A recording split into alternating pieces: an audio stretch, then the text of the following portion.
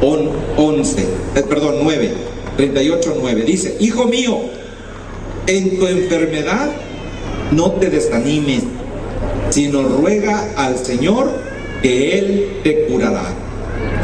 Aparta tus faltas, corrige tus acciones y purifica tu corazón de todo pecado.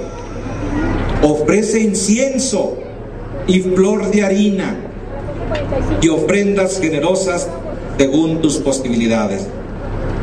Luego, recurre al médico, pues el Señor también lo ha creado.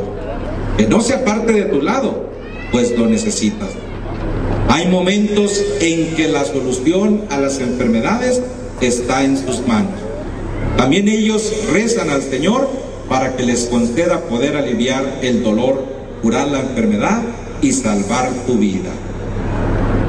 Palabra de Dios.